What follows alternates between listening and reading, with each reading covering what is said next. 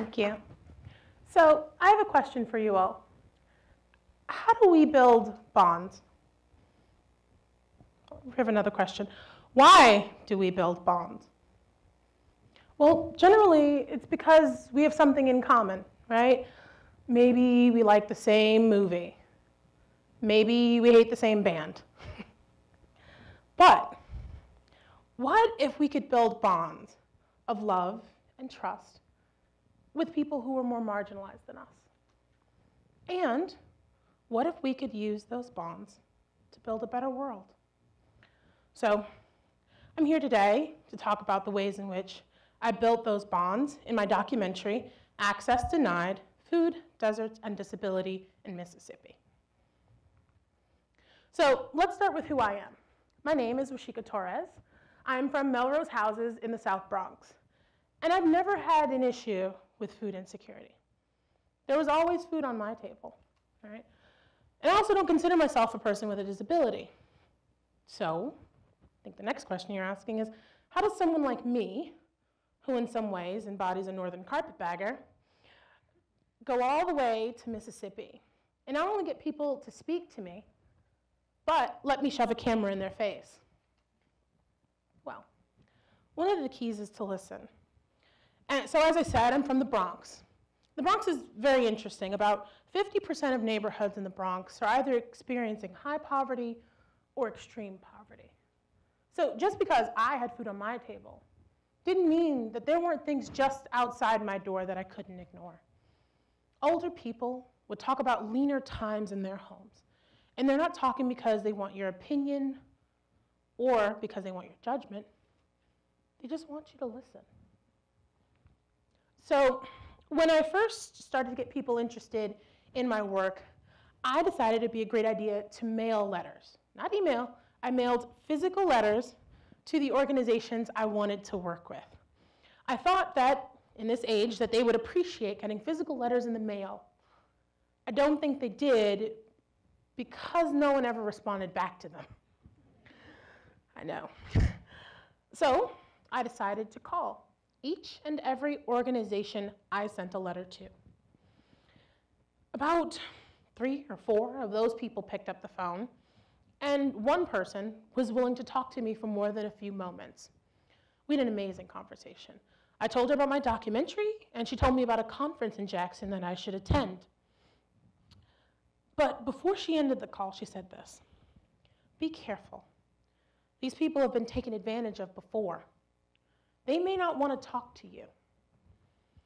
So I could have been offended and talked about my track record as an activist, but I didn't. When she was done speaking, I simply said, I understand. And understand I did. So, as I said, I'm also not a person with a disability. But I've been a disability rights activist for about 10 years now. And this was no accident. It started out listening to my friends in college talk about issues that they were having with accommodations or socialization, professors, other students. And I realized something that if I paid attention to what they needed to say rather than what I needed to hear, I could find my place in all of this. So I said listening is key. But it's not just listening, it's what to listen for. Oftentimes, we hear or we see problems and we think to ourselves, well, I have the answer to that. I have the solution. That's kind of where we go wrong. But don't worry, a lot of people in organizations, they do the same thing, and that's where they fail too. They think their solutions are unique or innovative. But the problem is that they're not really listening for solutions. They're just listening so that they can inject their own, right? They're waiting for their turn to be saviors. But the world doesn't need more saviors, it needs more helpers. More on that later, don't worry. So, you may be wondering, why Mississippi? Well, I will tell you about the Magnolia State. Mississippi is full of very interesting and powerful intersections. So when we're looking at national data in terms of population for people with disabilities, it's about 20%. So one in five people in the United States has a disability. And in Mississippi, it's about 15%. And when we look at the unemployment rate, when I was doing the research for this film, it was about 5% nationwide, and in Mississippi, it was about 5.4%. But when we look at the unemployment rates for people with disabilities, that number generally doubles. So at the time, it was 10%. But in Mississippi, it's 29%.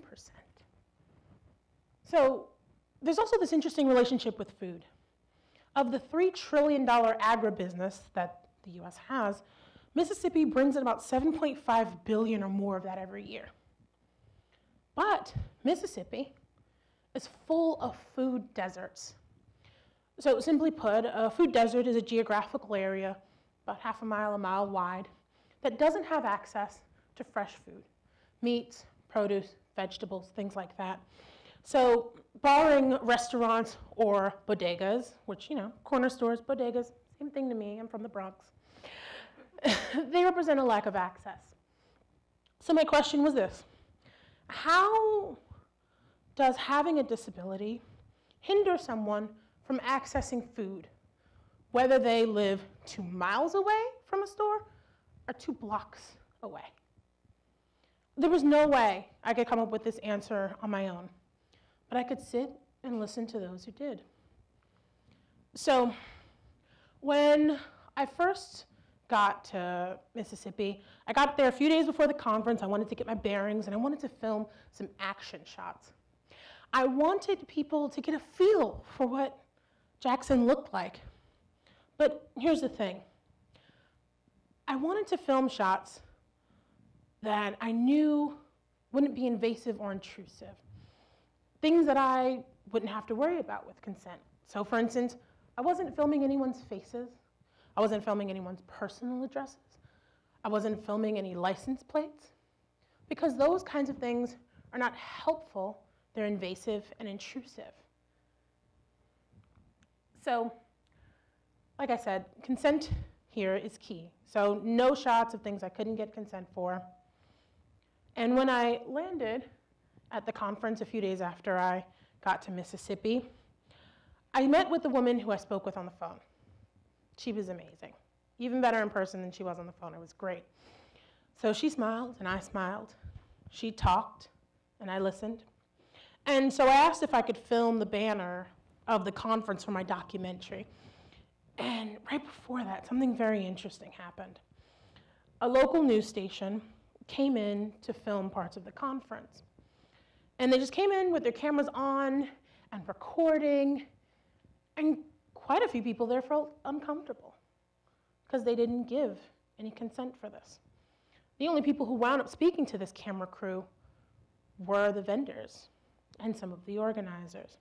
And to me, that was a big red flag of what not to do. So, a few days into the conference at their luncheon, they announce me and they talk about my documentary, and I stand up and I raise my hand. And interestingly enough, the people who wound up sitting for these interviews with me were either people I'd been sitting with at the conference the whole time or friends of those people. Because when I had no credibility, they gave me theirs. And each time I sat with someone, I remembered all of my biases that I was a woman from a different region and a different culture. And I also remembered something else that people are experts of their own experiences. And we have much more to learn by listening to them and remembering these things as we talk to them. And so, as I sat, all of them, I thought about who I was each time. Who are you? The caterpillar asked Alice in Wonderland. Who are you indeed? So I am a helper. I don't always share a lot in common with the people that I advocate with.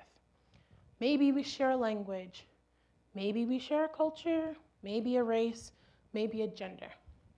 But here's the thing we always share their hopes, their goals, and their dreams in actualizing equity for their communities, recognizing that they know what's best for them. And I come to these conclusions, you know, like I said, as a girl from the South Bronx, because I know what it's like to be silenced, I know what it's like to be overlooked, and I know what it's like to be uplifted. And so, speaking with all of these participants and remembering my biases and remembering that they are the experts, one thing that came back again and again is to always recognize that people in these situations, no matter who they are or where they are, are not destitute or without hope. It's quite the opposite because they know the solutions because they are living with the problems. And so I want to share something that Dr. Scott Crawford, one of the people I interviewed early on and that I sat at the conference with for a few days, said to me. When we talked about issues of accessing food, one of the things he came back to again and again was transportation. And he said that, you know, people with disabilities want to live an independent life. In order to be able to get fresh, healthy foods and live that independent life, we need accessible transportation by way of trains, buses, what have you. He said, without that, people with disabilities are going to be more dependent on others. And he said, it's not necessary, it's not fiscally responsible, and it's not justice. It's not justice. So, I want to ask you one more question. Maybe you've noticed, maybe you haven't. But I've only been sharing very personal stories about myself. I told you where I was from, I told you my biases, and I told you the thoughts going through my head. What I didn't share were personal stories about my participants, the things that happened off camera. And there's a reason for that. They told me when to film, what to film, when to stop. They looked over all of my footage before I sent it to editing. They looked over all my footage after I sent it to editing. So sharing things that they did not want me to share would be outside of the bounds of consent. And even though filming has ended, filming is over now, I still keep those promises I made to them. And I would like to end this by saying, my name is Washieka Torres, and I'm one of many tools in a toolbox. And I'm helping a community, not saving it. Thank you.